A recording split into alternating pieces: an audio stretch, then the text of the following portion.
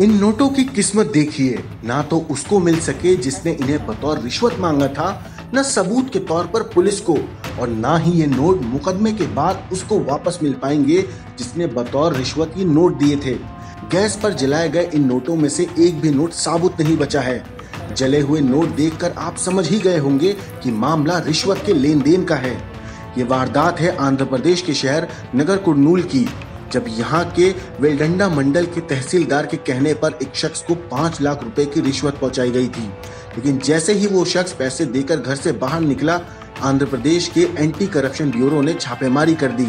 Police team ने जैसे ही घर की चौखट पर दस्तक दी, रिश्वत लेने वाले ने रिश्वत के पाँच लाख रुपए ले जाकर गैस पर रखे और उन्हें आग के हवाले कर दिया। किसी तरह से पुलिस टीम घर के अंदर दाखिल हुई और जले हुए नोटों को अपने कब्जे में ले लिया। बरामद नोट 500 और 2000 के हैं। नोटों की बरामदगी के बाद पुलिस टीम ने इस मामले में आरोपी तहसीलदार को भी गिरफ़्तार कर लिया है।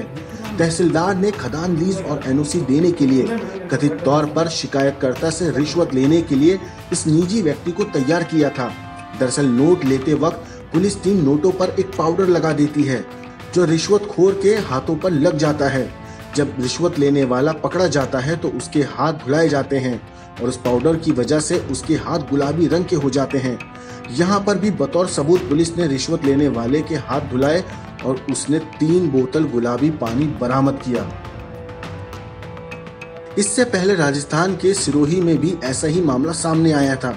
वहाँ पर भी जब एंटी करप्शन ब्यूरो की टीम ने छप छापेमारी की, तब रिश्वत लेने वाले ने 20 लाख रुपए की रकम को आग के हवाले कर दिया था। हालाँकि इस तरह की रिश्वत लेने वाले इस बात को भूल जाते हैं कि रिश्वत देने से पहले सभी नोटों का सीरियल नंबर नोट किया जाता है। और वो केस के दौरान बतौर सबूत ये सीरियल नंबर रखे जाते हैं। ऐसे में नोट जलाने के बाद भी अगर नोट का एक भी सीरियल नंबर मेल खाता है तो वो रिश्वत लेने वाले के खिलाफ पुख्ता सबूत माना जाता है। ब्यूरो रिपोर्ट, क्राइम तक।